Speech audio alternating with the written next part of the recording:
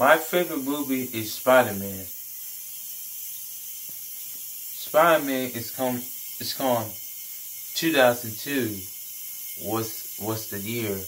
My favorite movie was Spider-Man 2 in 2004. It's mine Spider-Man 3 in 2007. It's my favorite movie is The Amazing Spider-Man 2012. Then Spider-Man 2 is was on 2014. And then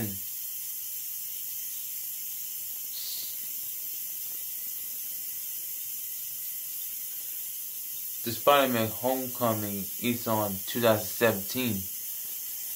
And then Spider-Man Far Away was on 2019.